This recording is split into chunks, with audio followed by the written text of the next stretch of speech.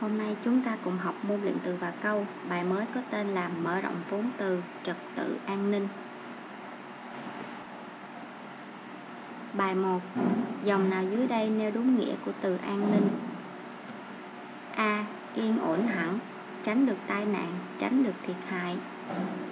B. Yên ổn về chính trị và trật tự xã hội. C. Không có chiến tranh và thiên tai. Các bạn hãy sử dụng vốn hiểu biết của mình hoặc từ điển để xác định nghĩa của từ an ninh nha.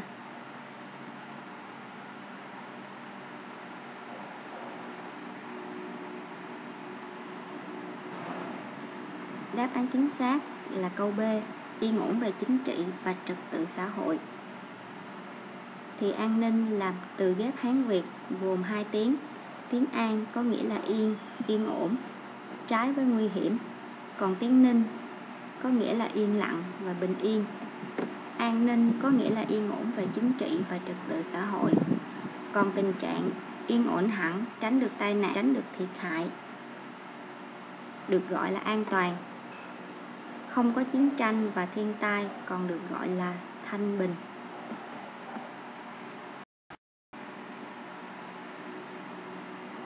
Chúng ta qua bài số 4.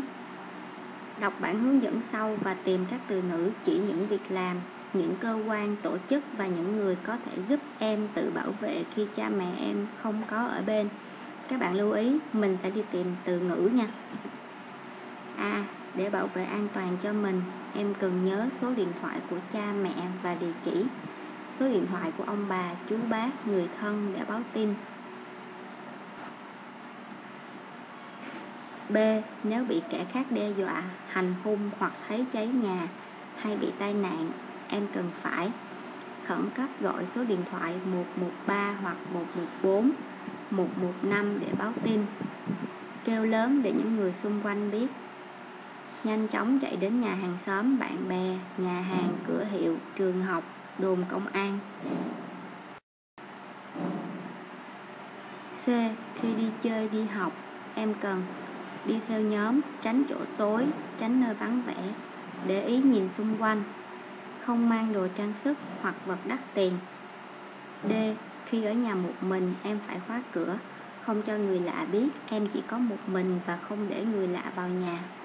Theo gia kính, thì các bạn lưu ý 113 là số điện thoại của lực lượng công an thường trực chiến đấu 114 là số điện thoại của lực lượng công an phòng cháy chữa cháy và 115 là số điện thoại của đội thường trực cấp cứu y tế.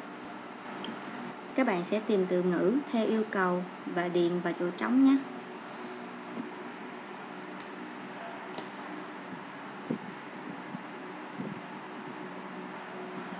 Đáp án như sau.